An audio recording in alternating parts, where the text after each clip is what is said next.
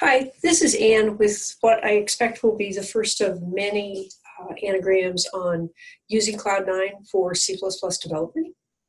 The last time I taught this course, we downloaded and installed um, a local integrated development environment called CLion.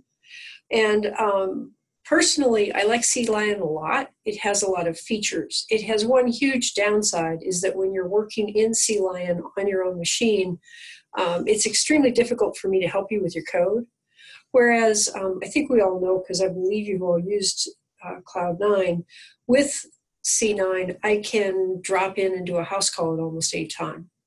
So we are going to start this semester using Cloud9 for our C++ development. I am hoping that we stick with it all the way through, and because uh, changing is never any fun. But um, this is this is i will be learning some of this along with you or just ahead of you and so um, i will be trying to explain things as we go along when you first create your uh, your cloud9 c++ workspace you should come up with a readme page that looks like this and a file structure that looks like this over here um, this is the README file, and it directs you to do uh, command line terminal build uh, of your code. Um, some of this will make sense after you read the the textbook, which talks about the fact that your C++ code has to get compiled into object code and then linked into machine executable code. The book kind of glosses over the fact that there's both a compile step and a link step, but that does happen. And then finally, you have an executable that will run. So um, what this README file says is that you should come down here to the uh, terminal, the bash terminal, and type the word make. Okay, and you'll see some files appear in the file structure on the left, the navigator on the left when I do this. Okay, so what happens is this runs compilers for this C file and this C++ file. So the the code for um, that they give you as a template has both. Um, they look very similar. This is plain C. This is C++. And at this stage, um, you'd be hard pressed to tell the difference because we're not doing anything object oriented yet. You'll note that this is almost exactly the same code, not quite, as in the software maintenance case study in chapter one. This um, hello world code as the first thing to see when you are coding in a new environment is pretty ubiquitous in the programming world, and particularly in C, C and C++. Um, one thing, one way to look at moving from COSC 1010 to COSC 1030 is that kind of like in a video game, you're leveling up but um, I don't know that it's going to feel like that right away. Um, in some ways, it may feel like you're you're gearing down or leveling down, and I think the right uh, metaphor may be that you're going from driving an automatic to driving a stick shift.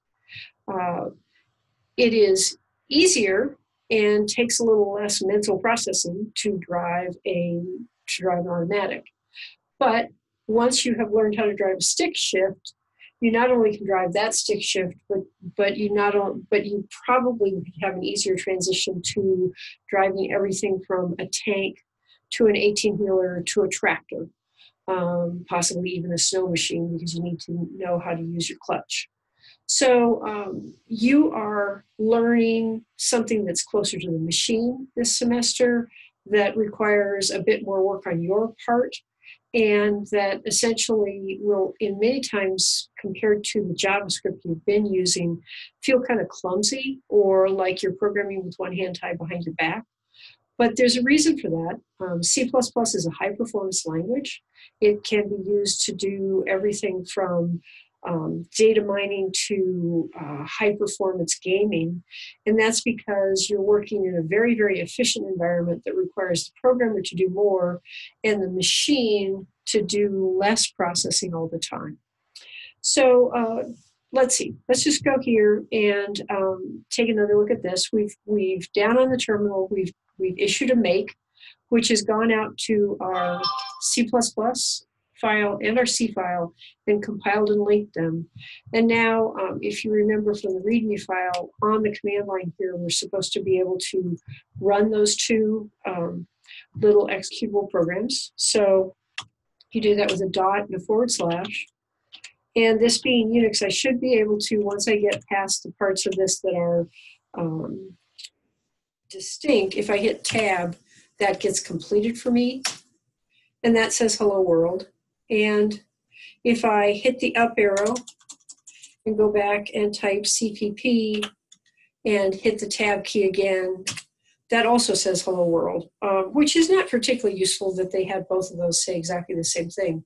What you're running is this is your C program, and I can change that to say hello C world.